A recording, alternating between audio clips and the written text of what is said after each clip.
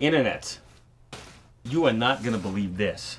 But right now, in the living room, talking to my mom is my dad. The electrician, that's right, that dad. He, he looks exactly the same as he did 30 some years ago, last time I saw him. He looks younger than me. And, but still, I gotta call him sir.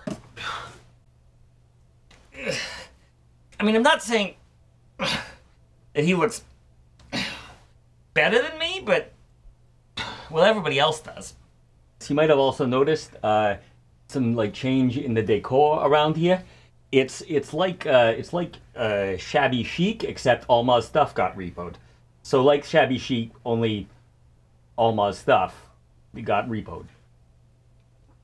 So that Major Faultline guy, he's been like traveling in space and time and something. Does he get like, you know, aeromajiggy miles or time minutes or something from that? I don't know.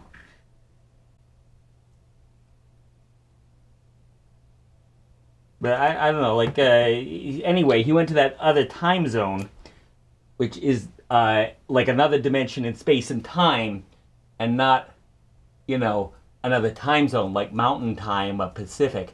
Because, like, I told my dad, like, what, you just been hanging out in Vancouver for 33 years? And then he took off his utility belt. You don't sass the electrician.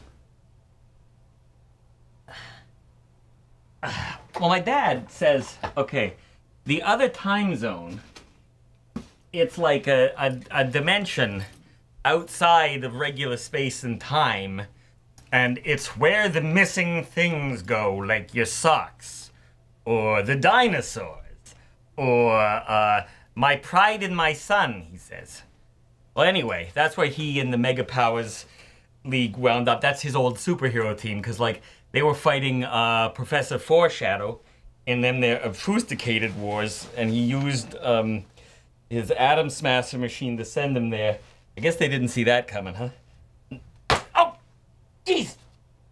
Well, anyway, he's a good guy, Internet, so long as you don't sass him or say something positive about the government. I'd introduce you to him, but I'm not allowed to leave my room.